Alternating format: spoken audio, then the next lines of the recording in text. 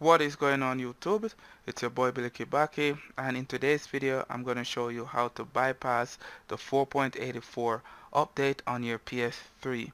Now I have done this video before but a lot of people keep asking how do they bypass the update and all of that stuff. Even though I tell them that check on my channel playlist they keep asking. So I am redoing the video over. Alright so all the links will be in the description. Make sure you guys go ahead and read through the description. Head over to the proxy server right here and download it. The link will be in the description as I mentioned and you want to go ahead and save it in your local disk drive. So save it in your local disk drive right here. Okay, let me go back out.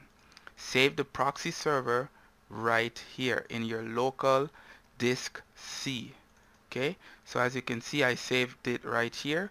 Go ahead and right click and just extract it right there. You're gonna end up with this folder right here. So go inside the folder go all the way down to the PS3 proxy server GUI exe open as admin. Once the program open up you want to enter your IP address right here. So what you can do is go down to the taskbar here type cmd enter and you want to type IP config press enter and you will see the IP4V address right here. So this is the one you need to copy. So just go ahead highlight it and copy it. Now paste it in right here. Once you paste the IP address right there click PS3 mode. Now after that click start. Now let's head over to the PS3 okay guys so now that we are on the PS3 let me just show you guys that I get greeted with the update message. So if I try to sign signed in I'm gonna get the message saying that I need to update. And also over on system update as you can see it's telling me to download the latest update. If I go to system settings go all the way down. That's my firmware right there 4.83 so let's go ahead now and show you guys what to do on the PS3 so go all the way down to network settings. Go to your internet connect connection settings. Press X. Go down to custom wireless press right, right again, right on the D-pad again.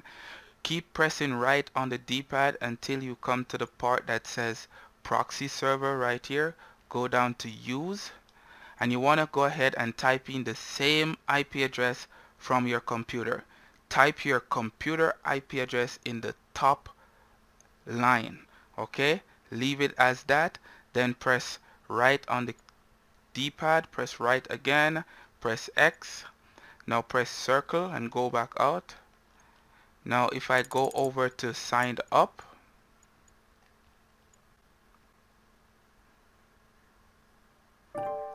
there you go. As you can see guys I am now able to sign up without getting the message to update my PS3 so that's it guys. It is as simple as that. Keep in mind that you will need to keep the proxy server running every time you do this. Keep it up and running every time you do this okay guys? So guys if the video was helpful please leave a like. Also share the video around.